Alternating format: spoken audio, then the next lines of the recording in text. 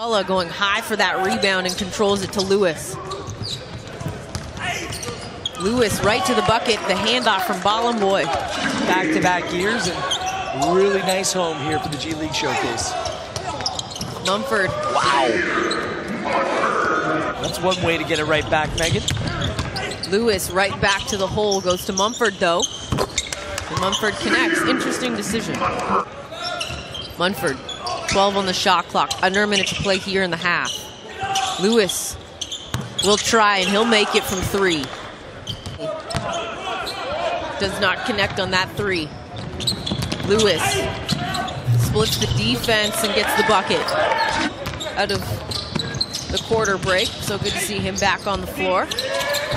Lewis goes window. Well, they need to find some way to make some jump shot.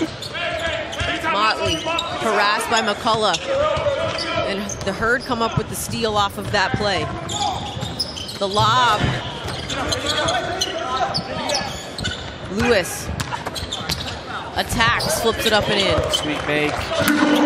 Single digit lead for Texas. Lewis comes up with the steal, but throws it right to Motley and Dentman off the inbound ball and boy jumper. That falls.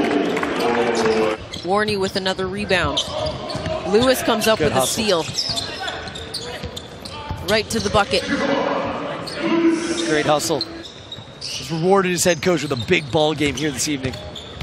Lewis wheels the baseline, flips it to Casey for the two-hand flush.